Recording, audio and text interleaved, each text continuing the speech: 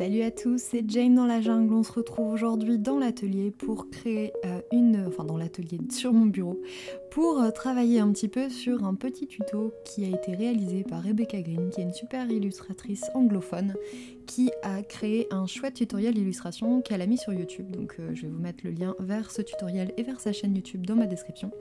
J'ai eu envie de le tester en vidéo parce que déjà j'adore le style de cette illustratrice et je trouvais ça super intéressant qu'elle fasse un petit tuto et je me suis dit euh, que j'avais vraiment plein de choses à apprendre euh, de cette illustratrice. Donc je me suis dit allez c'est parti. Je suis ce petit tuto et je me suis dit ça serait trop bien de le partager avec vous en euh, vidéo.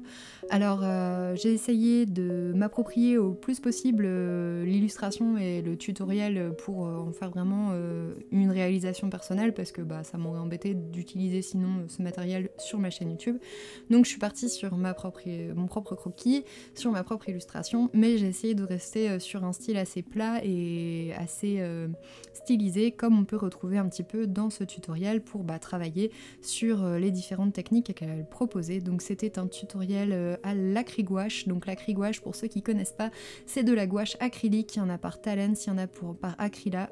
moi j'ai jamais testé l'acrygouache et j'en ai pas.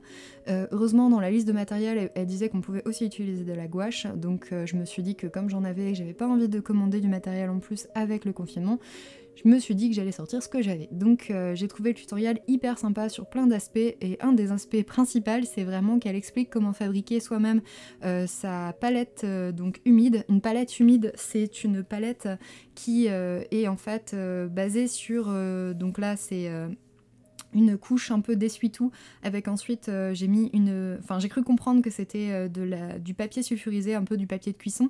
Et euh, vous mettez l'un sur l'autre en, en, vaporisant avec de l'eau. Et donc ça crée en fait une surface qui reste humide pendant toute la durée de votre illustration. Et ça marche vraiment super bien. Je pense que vous devez pouvoir faire ça même dans un petit tupperware ou des choses comme ça si vous voulez garder votre palette vraiment bien humide pendant plusieurs jours. Moi ça a très très bien marché pendant la durée de mon illustration. Et j'ai même trouvé que c'était plus facile de travailler sur la couleur, sur la gouache, de la faire un petit peu se diluer plus facilement et de surtout de garder euh, un côté euh, plus, euh, comment dire, de garder un côté plus facile au niveau des mélanges. En tout cas, j'ai vraiment apprécié.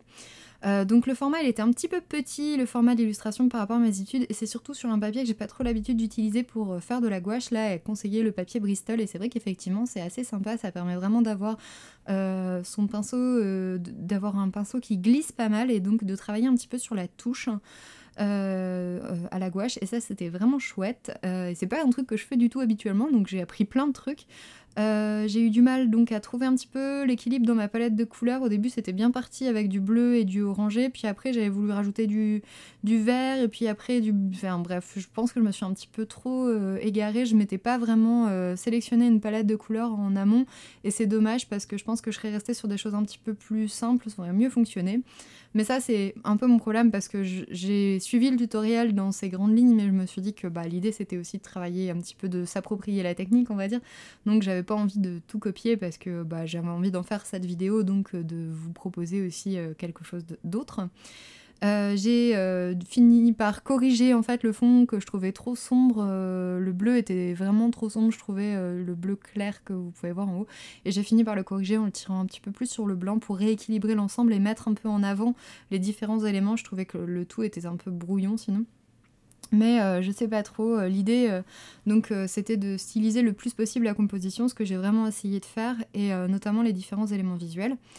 Euh, ça, c'est quelque chose que je fais régulièrement, donc finalement, ça m'a pas euh, trop paru euh, trop complexe. Et au contraire, j'ai trouvé même que ça m'avait donné pas mal de conseils. Enfin, je, me suis rendu compte que je pouvais même styliser encore plus possible, de façon encore plus importante, mes illustrations. Et c'est quelque chose que je vais essayer encore de, de travailler là cette année.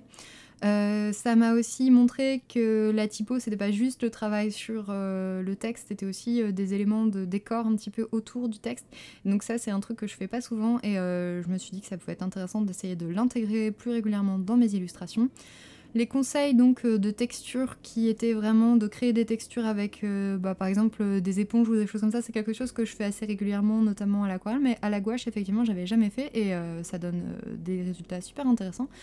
Et euh, surtout, euh, il y avait pas mal de conseils sur euh, la création de textures avec son pinceau. Vraiment essayer de, partir et de faire des tracés un petit peu, de, creuser, de, de, placer en fait ses coups de pinceau dans des sens un peu différents pour créer une sorte de...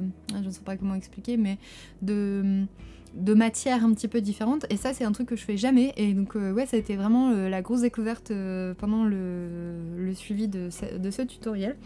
moi à la fin j'étais pas hyper hyper contente du résultat final, j'ai rajouté des petits trucs et tout ça mais ça me plaisait pas, on, aurait dit que c'était pas pas fini pour moi, j'avais l'impression que ça allait pas, alors je sais pas si c'est parce que j'avais pas assez cerclé mes tracés à la gouache à la fin.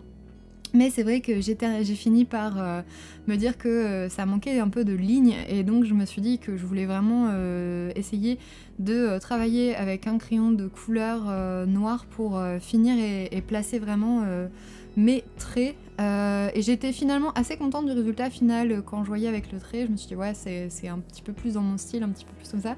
En tout cas, je suis contente parce que c'est vraiment, euh, c'était une, belle séance d'expérimentation et d'apprentissage. Et c'est pas quelque chose que je montre souvent sur ma chaîne parce que je vous montre plutôt des illustrations finies ou en tout cas des réalisations d'illustrations un petit peu plus poussées.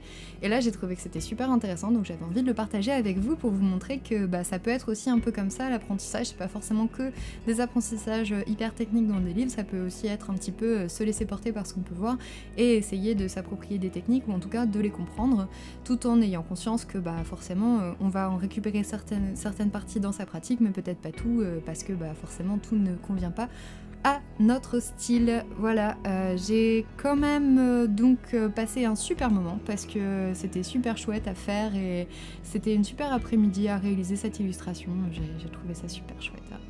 Donc voilà, je vous laisse euh, le lien vers la chaîne de cette illustratrice euh, sur euh, ma description. Franchement, suivez un peu ce qu'elle fait, c'est vraiment cool. si, ma vidéo t'a plu, tu peux donc t'abonner, ça, ça serait chouette, comme ça tu raterais pas les prochaines vidéos. Tu peux aussi me suivre sur YouTube et sur Instagram et me laisser un petit commentaire.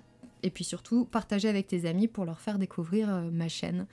voilà, je te dis à bientôt et à bientôt dans une nouvelle vidéo. Salut